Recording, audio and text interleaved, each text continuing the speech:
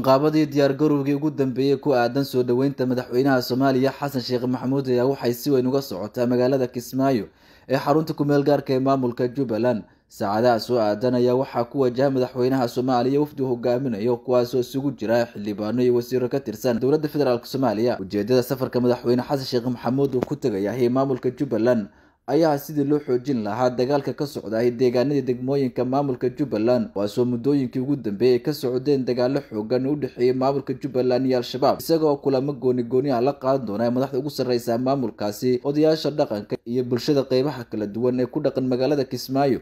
Safarka madaxweyne xasan sheekh maxamuud uu ku gaaraya maamulka jubbaland ayaa noqonaya safarkii ugu horreeyey tan iyo markii la doortay shan iyo tobankii bishii may isagoo booqday maamulada kale ee ka jira dalka sida hirshabeelle galmudug koonfur galbeed iyo puntland. Inta uu ku sugan yahay magaalada kismaayo madaxweyne xasan sheekh maxamuud isaga iyo madaxweynaha jubbaland ayaa waxay booqan doonaan xeryaha waaweyn ee ku yaalahay magaalada kismaayo kuwaasay ku xariisan yihiin ciidamada xoogga dalka iyo kuwa jubbaland iyagoo halkaasi khudbado dhiirigelina uga jeedin doona islamarkaana ku boorin doona in dagaalka ka socda ay guud ahaan dalka ay ka qayb qaataan. Daahiye cabdulqaadir r t n t v muqdisho.